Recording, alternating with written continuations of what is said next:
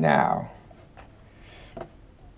Now I've started recording. Hello everyone, this is CircuitPython Weekly for May 31st, Tuesday, May 31st, 2022. This is the time of the week when we get together to talk about all things CircuitPython. This week we're delayed a day because of the Memorial Day holiday in the US. I'm Dan and I'm sponsored by Adafruit to work on CircuitPython. And CircuitPython is a version of Python designed to run on tiny computers called microcontrollers. CircuitPython development is primarily sponsored by Adafruit. So if you want to support them and CircuitPython, consider purchasing hardware from Adafruit.com. We host this meeting on the Adafruit Discord server. You can join anytime by going to adafru.it slash discord. We hold the meeting in the CircuitPython dev text channel and the CircuitPython voice channel. Usually this meeting happens on Mondays at 2 p.m. U.S. Eastern Time, 11 a.m. Pacific Time, except when it coincides with the U.S. holiday, which was yesterday. In the notes doc, there's a link to a calendar you can view online or add to your favorite calendar app. We also send notifications about upcoming meetings via Discord. If you would like to receive these notifications, ask us to add you to the CircuitPythonistas Discord role. There is a notes doc to accompany the meeting and recording. The notes doc contains timestamps times to go along with the video so you can use the doc to view only the parts of the video that interest you most. The meeting tends to run 45 to 90 minutes. Um, you can skip around because of that. Um, let's see, what else would I like to say? If you want to see, the, the meeting notice is always pinned in uh, the pinned messages in the CircuitPython channel. So for instance, here I'll show you by uh, pinning in, or looking at the pinned messages. Just go there and you can find a link to the notes doc and the information about the next upcoming meeting. We hold a meeting in five parts community news, the state of CircuitPython libraries in Blinka, Hug reports, status updates, and finally in the weeds. And uh, I won't explain those in detail right now, but I will in the beginning of each uh, one. So let's go ahead and I will try. I built a, Kattni told me she built a timestamp generating engine uh, which was written in CircuitPython, and I did the same thing with the CPX. So we'll try that. Oh, it might help if I plug it in. In which case, its time is off, so never mind. Next time I'll do that. All right. Uh, let's start with community news. Um, this is news from the weekly our weekly Python for microcontrollers newsletter, which usually goes out via email on Tuesday mornings. This week it'll be Wednesday morning. Visit adafruit.daily to subscribe to the newsletter. Thanks to Anne for putting the newsletter together. If you have any Python or on hardware projects to share or find content you'd like to see included, please continue consider contributing to the newsletter. You can open a PR on GitHub, uh, uh, tag at sign Anne underscore engineer on Twitter with the hashtag CircuitPython or email cpnews at adafruit.com with the news and a link to whatever the news is about. Um, so let me go ahead and go over the community news that we have for in the upcoming newsletter. Um, I'll put a timestamp in here. Uh, uh, the CircuitPython GitHub repo has reached 3,000 stars. Those are stars you can star your favorite repos in GitHub. Um, it exceeded 3,000 stargazers this week. Thank you all the people who have chosen to star the CircuitPython code repository. Thank you very much. It helps our visibility. Um, next, uh, Anne Barela talks CircuitPython with Crowd Supply's Helen Lee.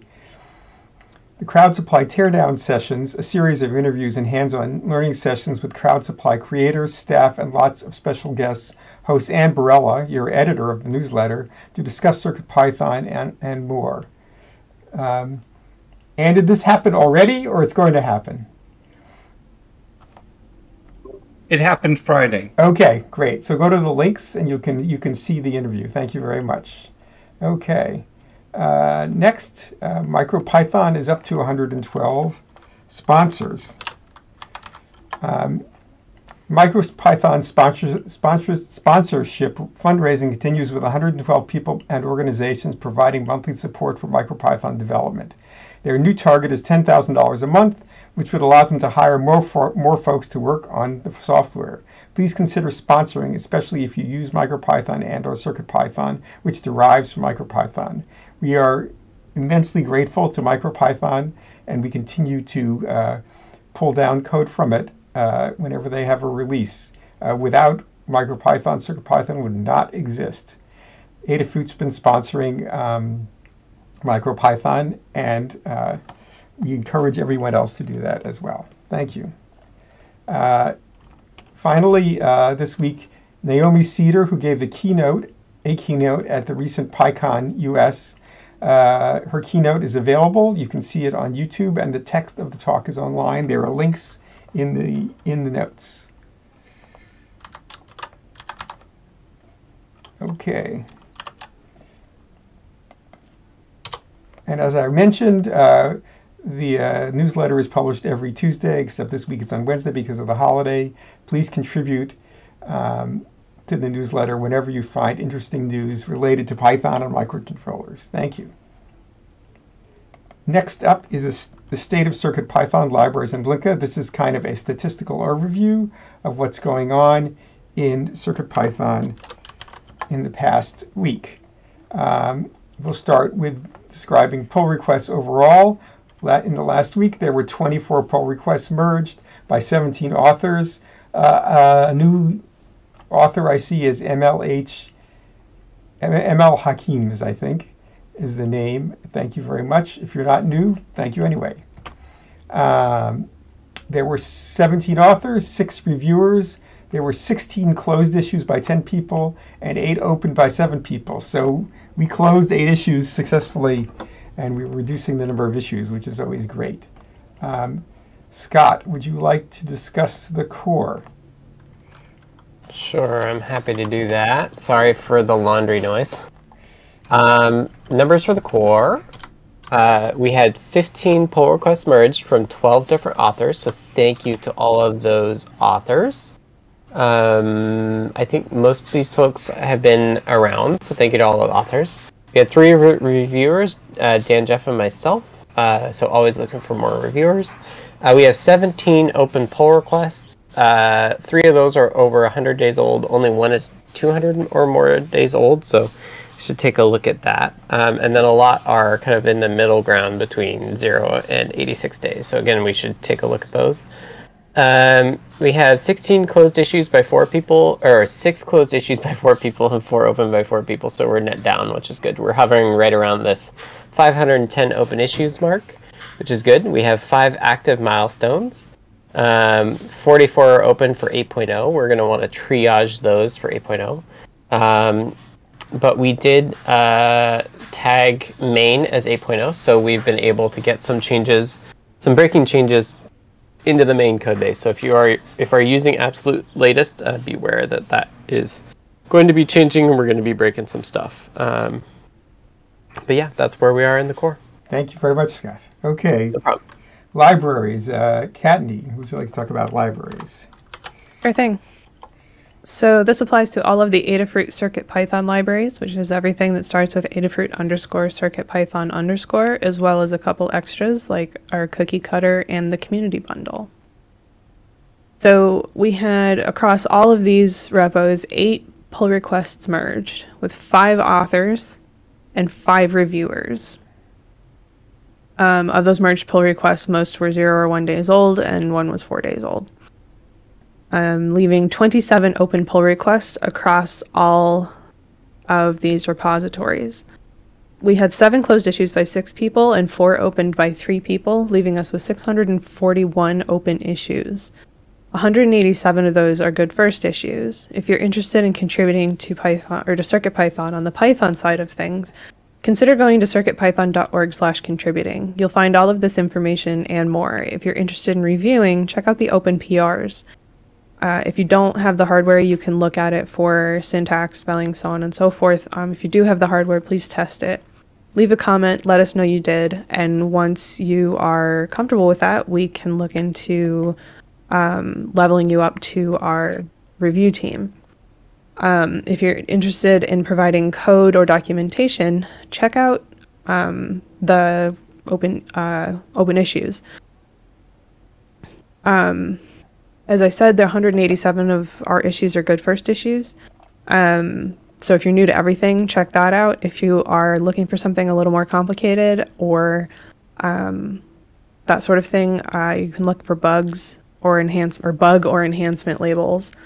Um, and if you need, if you're new to everything, we have a guide on contributing to CircuitPython using Git and GitHub, and we're always available on Discord to help you out. So please don't let that intimidate you away from considering uh, joining our contributing members. Um, there were no new libraries in the last seven days, but there were three updated libraries, uh, which I will not read through, but they're available in the notes. That's what I've got. Thank you, Kattni. Okay, next up is Blinka. And Melissa, can you read?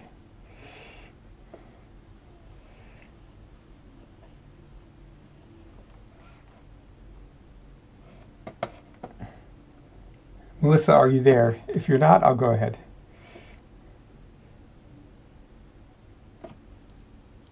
Okay. So maybe having trouble, so let's, or out of the room, so I'll go ahead. So uh, Blinka is a compatibility layer. for- Hey, I'm sorry, I'm That's all right. back. That's all I had to walk away for a second. Okay. Uh, okay, uh, Blinka is our CircuitPython compatibility layer for uh, MicroPython, Raspberry Pi, and other single board computers. And uh, this week we had one pull request merged by one author and one reviewer. There are currently four open pull requests among the repositories. There were three closed issues by three people and zero open by zero people, leaving a net of 78 open issues. And there were 8,974 PyWheels downloads in the last month, and we are currently supporting 88 boards. And that's it. Okay, thank you very much, Melissa. Okay, we'll move on to, to Hug Reports now. Take another timestamp. Um, Hug Reports is where we highlight folks in the CircuitPython community and beyond for doing awesome things. Uh, we do this in a round robin fashion. I'll start, and then we go in alphabetical order after that. If somebody isn't here, I'll just read their contribution. Uh, I'll start. Um, I'll take a timestamp for myself.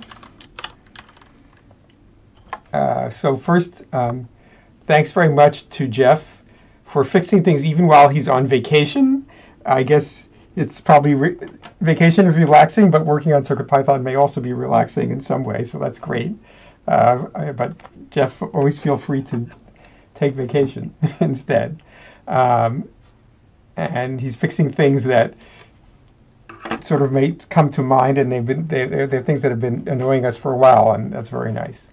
Uh, thanks to Scott for experimenting with space savings last week. Uh, he discovered some things which he'll talk to you about about the translations, which uh, can, we might be able to save a lot of space on certain builds. Thanks to Tekktrik for tracking down incompatibilities with the new version of Sphinx, the documentation system 500. It's not quite as painful as it could have been, but there were plenty of changes that we need to make. And thanks to Diso Rabian, who's testing uh, Matrix Portal network issues and has been really helpful in figuring out what works and what fails after a certain period of time. Okay, I'll move on to C. Grover now. And I'll read since they're not here. Thanks to Foamy Guy for taking the Titano backlight issue and running it towards the finish line with changes to the CircuitPython core. Also appreciate Foamy's content, comments on the touchscreen calibrator example pull request. And that brings us to Foamy Guy.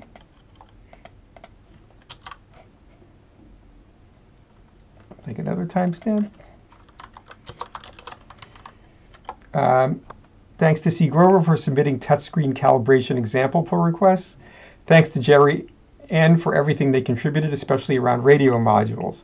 Testing some of the older PRs in those libraries was my introduction to RF, and Jerry was very helpful. And a group hug. Uh, next up is uh, Jeff, uh, who also gives a group hug. And next up is Kattni. I have a few hugs today. Uh, first up for Tekktrik for finding an issue with the libraries over the weekend and immediately fixing it. Um, Sphinx uh, updated, and something we had in our conf.py for the documentation was no longer um, was no longer happy. So Sphinx was failing, and Tekktrik took care of that.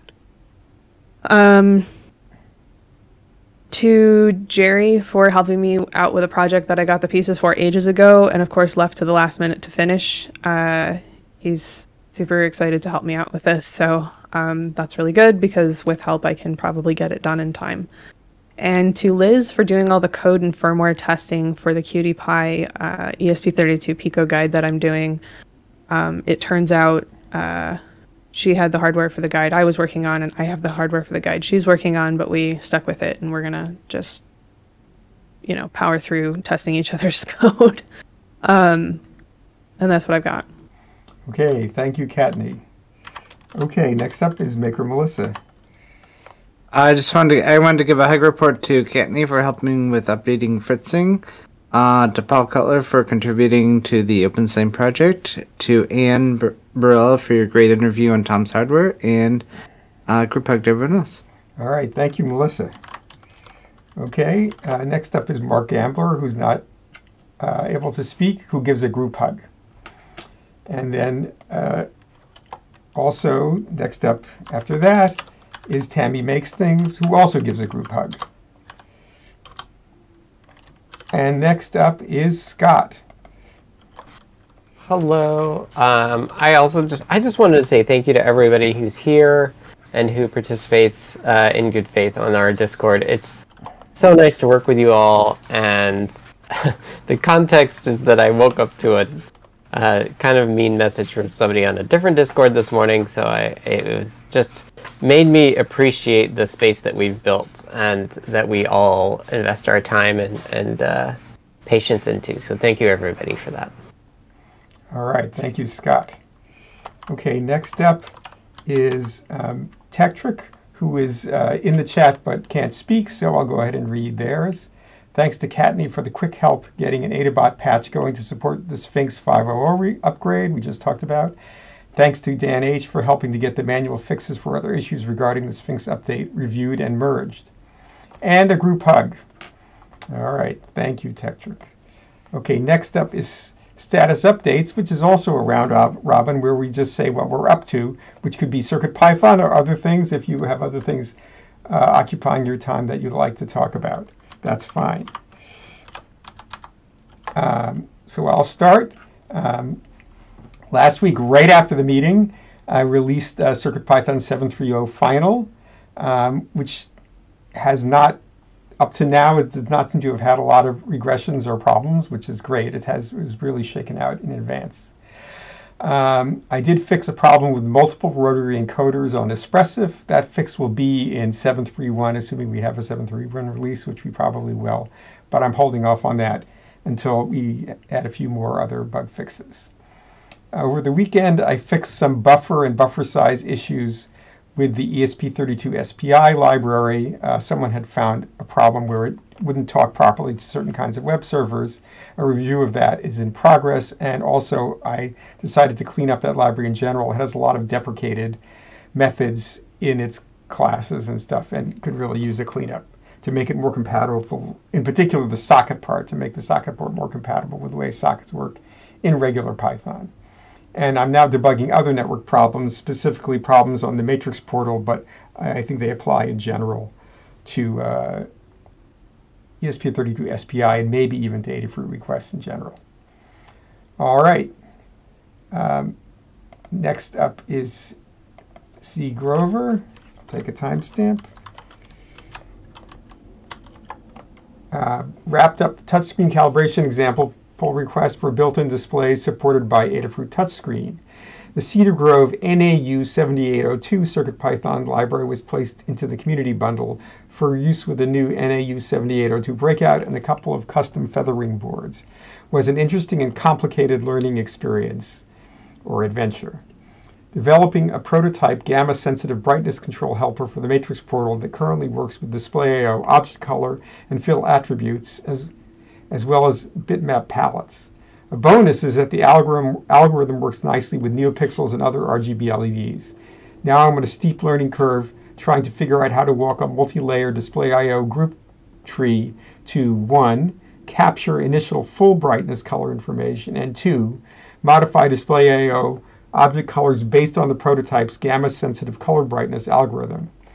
The goal is to create a helper or class that can linearly adjust linearly adjust display brightness similar to a TFT backlight. Lower brightness means less heat, lower power consumption, and a display that's easier to photograph. Okay, thank you, Steve, Steve, uh, C. Grover. Next up is Kattni. So last week, I started the Py ESP32 Pico guide. I worked with Liz for testing code and firmware on the Pico guide, uh, and I updated the Feather ESP32 V2 guide with new drivers. Um, this week, uh, planning to finish the ESP32 Pico guide. However, it is on hold until I have hardware. Um, I really appreciate Liz testing things. Uh, however, it was running into I need GIFs and I have to actually like iterate on code and um, to make anything work. And I wasn't sure whether she had time to do that and so on. And uh, Limor put the board in the shop this morning, so it is on the way. So that guide should be up soon enough. Um, the next thing I'm up to is uh, WipperSnapper. Um, need needs CircuitPython board reset, uh, bootloader reset gifs for seven different boards. Basically, they just need showing the right rhythm to get into the bootloader, and um, I agreed to help out with that. So I will be doing that. Um, then after that is the GitHub Fancy Profile Guide, basically using tools to make your GitHub profile more fun and attractive. Um, Light Tower, and next is a is a Light Tower GitHub Action Status Light. It's something you plug into your computer via USB, and it runs desktop Python. Um, I still have on my list, but low lower uh, priority uh, is the Add a Project to PyLeap guide, which was started but never completed, and then um, to set up the repository for the I squared C addresses guide migration to Markdown. And that's what I've got going on. Okay, thank you, Kattni. Okay, next up is Maker Melissa. Uh, last week I finished updating the Feathers and Featherwings guide. Um, I I deprecated an old general e-ink guide in favor of four separate guides I wrote. Uh, I added a bunch of new checks to CircuitPython.org repo and fixed any issues found with those checks. I worked on some miscellaneous GitHub issues, and I went through guide feedback for the NeoPixels on Raspberry Pi guide. This week I'm going to work on some more GitHub issues. I'll possibly be circling back to working on touchscreens on the Raspberry Pi, and I'm not sure what else at this point. Okay, thank you, Melissa. Okay, next up I'll read uh, Mark Gamblor's. Uh, did a small PR to, to add setting static IPs for Wi-Fi that was asked for in an enhancement issue. Thank you. That should be very useful to a number of people. Uh, next up, I'll read Tammy Makes Things. Didn't work on CircuitPython stuff last week. Sad face. This week, aiming to get back into my regular groove. All right. Uh, next up is Scott. Hello. Um, last week walk, wrapped up the .env stuff, which should be cool. Um, that allows you to do um, os.getenv from a .env file on the root file system. Um, and then I kind of got sidetracked into the world of trying to find uh, ways to optimize our code space. Um, along that sidetrack, well, I made a repo called F- Elf Section Graph, which uh, keeps track of dependencies between individual Elf sections, which are like per function per data thing. And then if they're not used, we can the the linker will just discard them. Um, so I did some research there. Did not find quite as much as I had hoped. Um, and then I got a little distracted. I made treemap.dev, which is just like a upload a JSON file and it will allow you to view it as a tree map, which is a very common visualization for like how much file space is my file system taking and things like that. So that that's kind of useful for this sort of thing. Um, I did find one thing uh, in terms of code size optimization, which is the way that we do translations is we have um, a function called translate that gets generated where it takes in the regular English string and then it has this big long if statement if statement chain that does string comparisons between that and the other copy and then it returns the compressed data.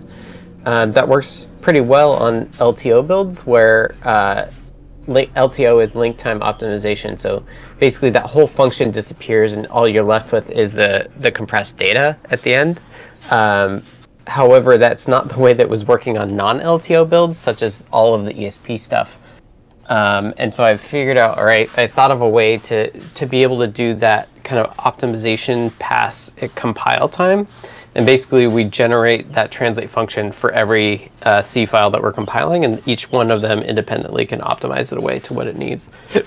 um, which should give us some space back on ESP, which is nice. Um, and so I there's still some CI failures. It's a draft PR. I'll have to follow that up uh, later today. Um, but that should be good, and that should get us some some space wins on everything that's not LTO'd. So the things that are LTO'd are like NRF, some of NRF, and all of SAMD. I think are all LTO'd, but on all the other builds, this should this should uh, get us some wins. Um, uh, I also I, I had like a few hours on Friday, so I was like, let me just see. Dan and I had talked about this a little bit.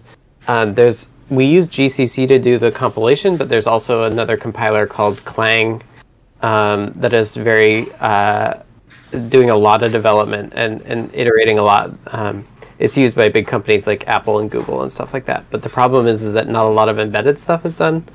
Um, so uh, it has really good warnings, and I got CircuitPython compiling with it. Uh, but the reality is, is, that GCC still does better in terms of code size, which is kind of critical for us. Uh, specifically, uh, the LTO versions of Clang can't do dash OS or dash OZ, which are the size optimized versions. So um, I tried that. There's a there's a, a branch there just to see what uh, you need to do for it, but I that's all I'm going to do on that. Um, I did also start prototyping the new serial output, so I figured out like the magic VT100 commands to like put a status bar at the top. Um, and so that's something I'll probably work on along with uh, that's I think that's kind of the next step to go along with the Wi-Fi work, workflow work. Um, but we'll see. It might be a bit slow going. Um, that's it for me. Okay. Thank you, Scott. Uh, next up, I'll read uh, Tekktrik's contributions after a timestamp. Uh, last week, developing more tools to check libraries for build issues and patch library bundle problems. A very accidental yet timely happenstance. Writing documentation for said tools so others can eventually use them. Helped get the majority of libraries fixed for the new Sphinx version 5.0.0 via uh, Adabot that is using Adabot to automate the changes needed in a lot of libraries. Started playing bug whack-a-mole for a few libraries with additional Sphinx issues due to deprecations and new features in Sphinx 5.0. This week, continue developing patch tools, wrap up manual patch fi fixes for Sphinx upgrade, start manual patches for the previous Pylint Adabot patch, and taking time to hang out with my girlfriend's family. All right. And um, finally, we have uh, In the Weeds, but there are no weeds this week. Uh, the lawn, the garden has been cleaned up, so we have no weeds, and we're pretty much done. Does anybody else have anything they'd like to bring up before we wrap up the meeting? Okay, I guess not. Um, let me take a timestamp for the ramp up. Uh, this has been the CircuitPython Weekly for Tuesday, uh, May 31st, 2022. Usually we're on Mondays. Thank you to everyone who participated, even though it was on an off day this time. If you want to support Adafruit and CircuitPython, and those of us that work on CircuitPython, consider purchasing from the Adafruit shop at adafruit.com. The video of this meeting will be released on YouTube at youtube.com slash Adafruit, and the podcast will be available on major podcast services. The newsletter will also be in the Python for Microcontrollers newsletter. You can visit adafruitdaily.com to subscribe. Next week's meeting will be held on Monday at the regular time, 2 p.m. Eastern U.S. time, 11 a.m. Pacific, and it's 1600 uh, U- hours UTC this sum- in the summer. Um, the meeting is held on Adafruit Discord. You can join by going to adafru.it slash discord. And if you want to find out about this meeting, ask to be added, to be notified, you can uh, uh, be asked to be added to the at sign circuit Pythonistas role on Discord. Thank you, everyone. Uh, short meeting, 30, 30 minutes or so, but we appreciate your contributions. And I will stop recording now.